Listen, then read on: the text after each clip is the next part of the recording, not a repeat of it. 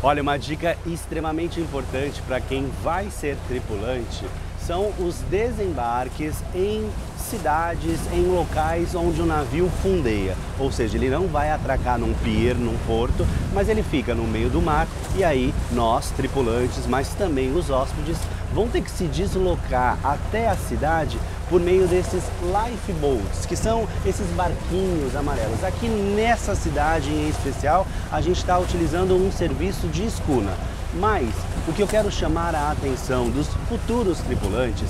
é que esse serviço pode atrasar bastante a vida de vocês nos breaks que vocês possuem para conhecer as cidades. O transporte, o tempo que esse transporte leva do navio até a cidade e também a volta dele deve ser sempre considerado no teu break para você não perder o horário de voltar para o navio e nem para você perder o navio, porque eu já vi muita gente que esqueceu desse time, a última lancha de retorno para bordo tinha um horário específico e ó, o tripulante ficou em terra e o navio partiu.